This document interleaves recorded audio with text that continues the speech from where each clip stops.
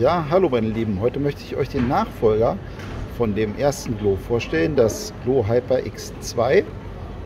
Und das gibt es halt in verschiedenen Farben hier. Das gibt es in diesem Schwarz, das gibt es in Orange, Blau, Gold, also nee, das ist, das ist hellblau, ähm, Schwarz-Rot hätten wir hier. Dann da hinten ist das Goldene, ne? Das sieht ein bisschen anders aus der Vorgänger. Das war der Vorgänger hier. Ne? Da war der Knopf hier vorne zum Drücken. Und bei dem neuen Modell ist halt der Boost-Knopf hier drunter angeordnet unter dem Power-Button.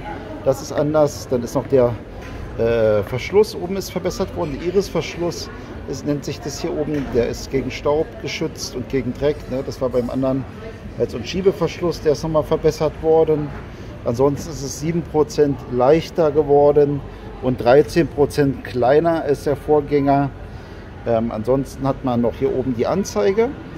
Die ist halt auch nochmal verbessert worden. Hier vorne war es der Ring bei dem Vorgängermodell, der geleuchtet hat. Hier, der ist jetzt größer, da kann man dann den, äh, sehen, ähm, den Ladestand sehen äh, von dem Gerät. Kann man auch sehen, ob man sich im Bootmodus befindet oder nicht.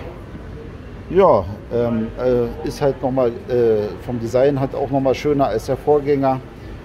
Und eine tolle Sache, ich verlinke es euch mal ähm, zu Amazon unter dem Video. Könnt ihr draufklicken, da gelangt ihr zu Amazon. Und wenn es euch nochmal anschauen und wenn es euch gefällt, bestellen. Ciao.